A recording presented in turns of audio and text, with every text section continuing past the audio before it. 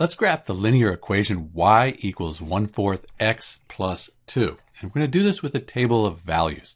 So we'll put a value in for x, do the math, figure out what value we get for y, and then we can graph those points here on the graph paper.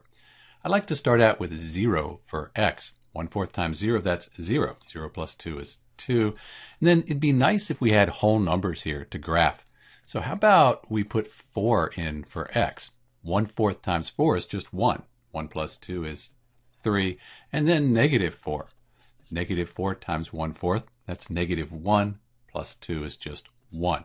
So these are the points that we'll graph for the equation y equals 1 fourth x plus 2. So we go to 0 for x, that's right here, and then y is 2, up 2. We go to 4 for x, and then y we go up 1, 2, 3. And we could stop with 2 points, but if we use 3, if we made an error up here, we'll catch that. So x is negative 4, and we go up 1, y is 1. And we see we have that line there. Let's put a line through that. Then we could put arrows to show that this goes to infinity. And we could have chosen really any values for x. We get a value for y, and when we graph that, it's going to be somewhere on the line here. I chose these because they fit on the graph paper, and it's nice to have the whole numbers when you're graphing.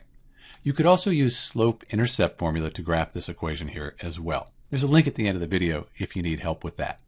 This is Dr. B graphing the equation y equals 1 fourth x plus 2. Thanks for watching.